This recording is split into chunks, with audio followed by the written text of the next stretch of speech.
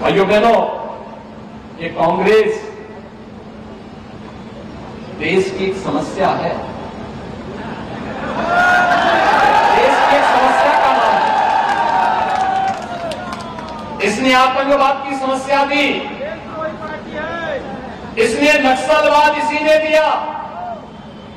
धर्मांतरण की राष्ट्र विरोधी गतिविधियों को प्रश्रय दे रही है।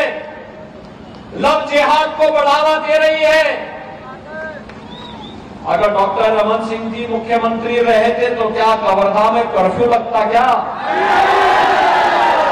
रामनवमी के जलूसों को बैन करता क्या कोई? क्या गौ कसी और गौ तस्करी की घटना का अड्डा छत्तीसगढ़ बन पाता? भाइयों बहनों, ये सरकार सुविधाओं से वंचित कर रही है तो आज इसको वोट से वंचित कर दीजिए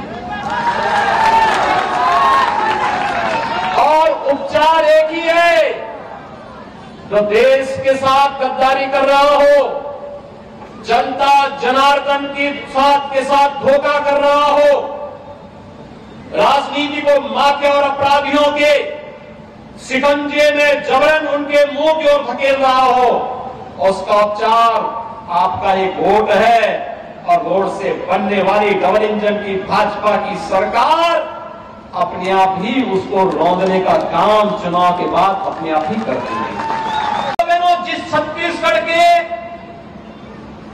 प्रकृति और परमात्मा की सीम कृपा से, जो छत्तीसगढ़ प्राकृतिक संपदा से भरपूर है, प्राकृतिक संपदा से, अपनी वन संपदा से खनन संपदा से, प्रकृति के अनमोल रत्नों का खजाना है।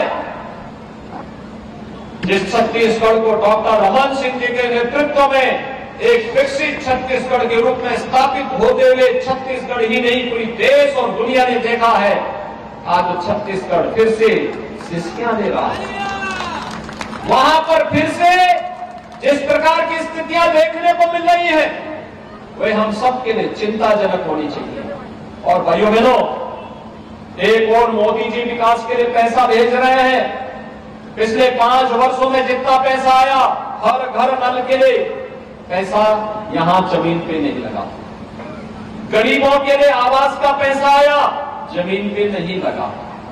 स्वास्थ्य के लिए पैसा आया, यहाँ पे जनता को लाभ नहीं मिला। यहाँ पर किसी भी योजना के लिए पैसा आया। भाइयों बहनों, वो पैसा यहाँ नहीं लगता है।